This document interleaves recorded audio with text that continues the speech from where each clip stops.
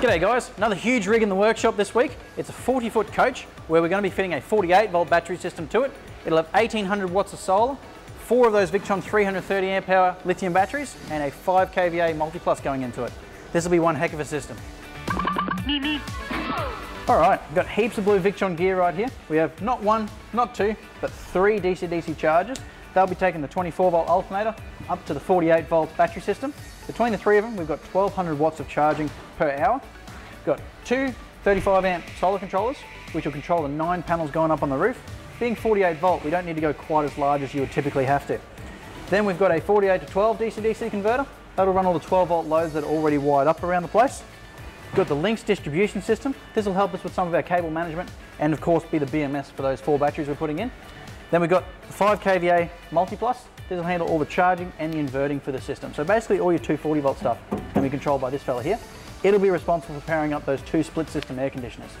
So we've got all the bits here to make a 48 volt system work.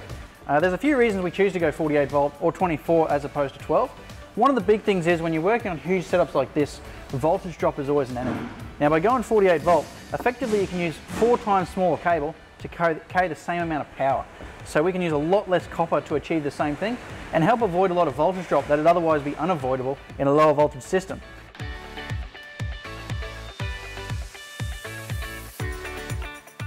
So I'm back on the roof of this big coach. Previously I've done a Sat King Pro Max satellite install. So as you can see the roof has got a big curve in it. Um, we're not able to use our standard aluminium brackets because the solar panels wouldn't sit correctly. So we've cut down some 100 by 50 aluminium angle, mounted that on the side so it props up off the roof and sits properly. So I've installed five 200 watt panels here at the front and then a, another four 200 watt panels at the rear there giving us a total of 1800 watts of solar on the roof. So we'll just take a run through what we've done inside on the big coach. We've installed the Victron Touch GX70. Right here, it gives you what power is coming in. Obviously we're not plugged into the grid at the moment, so you're not going to see any watts coming through. You've got your AC loads there of 79 watts, so obviously you've got some sort of 240 volt appliances running. PV charger inside of a shed, so it's not actually displaying any solar at the moment. And just down here is DC power this system is more than capable to run all the 240 volt appliances in the coach. You've got two split system air conditioners, one in the living room, one in the bedroom. You've also got a dishwasher in the kitchen. You've got a washing machine at the back there. And pretty much the customer can run any 240 volt appliances, microwave, kettle, toaster, coffee machine, anything that's in there. Now with this big rig taking up so much space in our workshop, we had all hands on deck. Vince has given you a run through of what we've done on top. Adam's given you a run through of what we've done inside. Now I'll give you a bit of a run through of the electronics area. Come take a look. Here's where we've mounted it all. Now I already had a chat with you at the start about exactly what all the components were. So now I'll have a bit of a talk about how we've connected it all up. So we've had Craig run a big 24 volt line from the starter at the rear right up to here onto some poles where we've actually paralleled these three DC-DC converters off of it, responsible for the alternator charging. Then we've had Vince run the five panels in series through this solar controller, four panels in series through this solar controller, now we're really taking advantage of that series to get the voltage nice and high to one save on voltage drop as I mentioned earlier but of course having it at a higher voltage too means the solar gets started up earlier in the morning and finishes later in the afternoon.